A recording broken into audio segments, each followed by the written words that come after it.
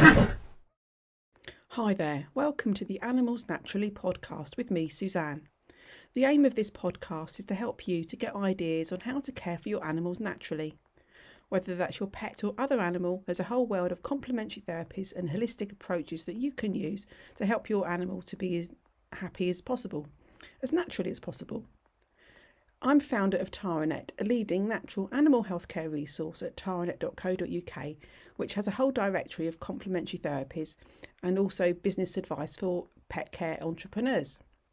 In this edition of the podcast, I'm going to give you ideas on how to care for your animal when you're moving house, particularly if you are downsizing as well. There's different things you could be um, doing to help your animal, your pet, to be as happy and comfortable as possible with what can be a stressful move for anybody at the end of the day when you're moving house. Moving can be very stressful for people and certainly for our pets, if only because they can pick up on our stress too.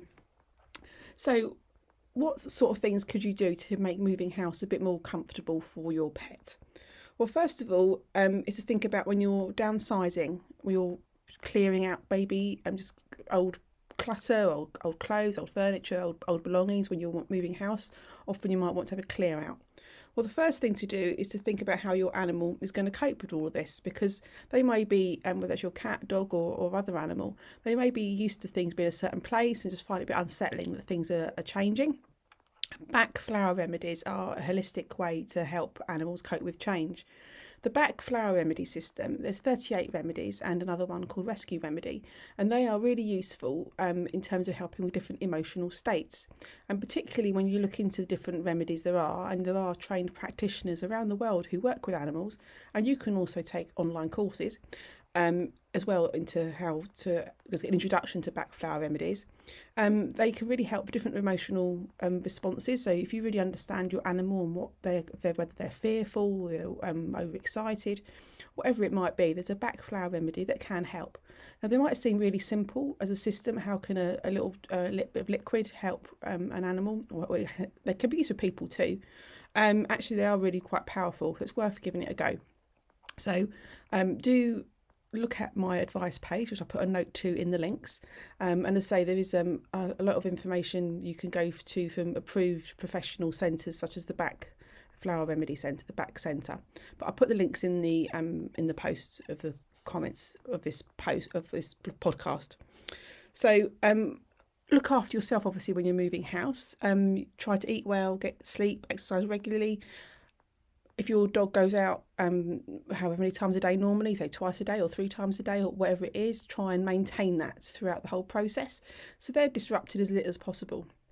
Obviously, having a dead set fixed routine can create problems in itself, but um, try to be as fairly normal as possible in what you're doing so your animal um, is not adversely affected and it's um, make keeps them as happy as possible. So you may also, when you're moving house, want to um, think about redecorating or just um, cleaning cleaning it up, making sure it's in good condition. And if you've got a garden, making sure that's in good condition too. Um, so think about the products you're using to clean um, or in your garden, different plants as well. Some are poisonous to animals. Um, unfortunately, some paints can be um, the smell of them can be quite um, unpleasant for some animals, can, and, and they might obviously lick them as lick, lick walls as well. Um, so just think about the different products that you're using. Are they pet safe? Um, I'll give you some uh, a link to a blog post version of this podcast where there's some links to some ideas on how to make sure you are using the best products possible. So obviously, when you're moving to your new property, um, think about where it is. Obviously, when you're um, you'll have your own um, things you'll be wanting to think about in terms of the property you're going to, but actually, um, how is it going to help your, um, how is it going to make sure your pet is happy? So, is there going to be a park or an open space you can walk to, easily access? Is there going to be a variety of places you can walk? Routine is critical for pets. So, um, and you obviously don't want to be doing anything that's going to adversely affect them. Um, and obviously, you might never in, never purposely do that, but it's quite a lot to think about sometimes. So, um, yeah, there's some ideas there on how to help your pet be happy. So I would say the Bach flower remedy system is a really good one for emotional um, responses to situations and different um, whatever that might be. Um, use Bach flower remedy such as gorse when you move to a new property, so they help them cope with change. There are many others you can use, so there will be a link. Um, other energy therapies can be really helpful too, such as radionics, Reiki, um, are really helpful. So there are other ones you could try. So I hope that's useful, and I'll put say a link to a written version of this um, podcast episode, so you can get some more ideas and some links. And I'll post the links to um, the directory of Taranet that I have, which has information on the Bach flower remedies, radionics, um, and, and Reiki as well. So I hope that's been useful. Um, please do share this with anybody you know who might be thinking moving house, who has a pet and would like some ideas on how to help consider your pet to be as, as um, happy as possible.